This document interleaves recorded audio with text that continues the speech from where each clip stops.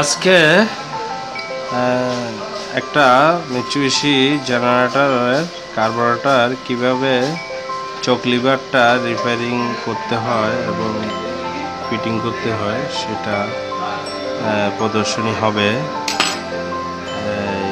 এটা হলো Mitsubishi generator M G six seven double zero five point one kilo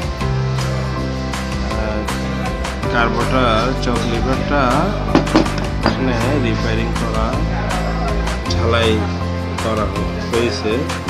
এই যে ঝালাই এবং এটা গ্রাইন্ডিং করে সোজা করা হয়েছে। সেটা এখানে ফিটিং হবে। এটা নিচের বুশের সাথে সেন্টারটা ঠিক রাখতে হবে। তারপরে এয়ার এয়ার শাটারটা করে স্ক্রু দুইটা স্ক্রু সমানভাবে সমানভাবে ফিটিং করতে হবে। সরি দুটো স্ক্রু সমানভাবে ফিটিং করতে হবে। লুজ লুজ রাখতে হবে।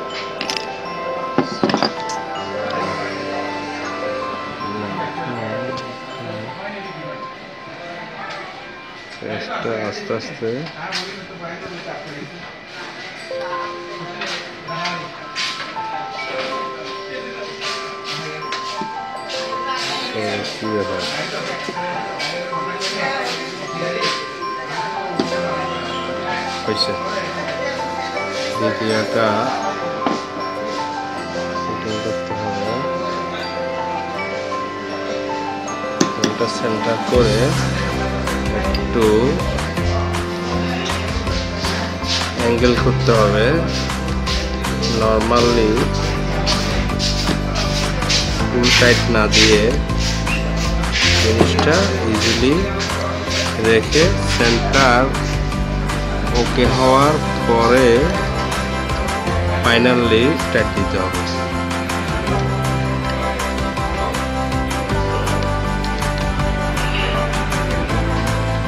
আজকে Mitsubishi generator carburettor choke lever কীভাবে রিপেয়ারিং করতে হয় সেটা এখানে প্রদর্শন করা হলো।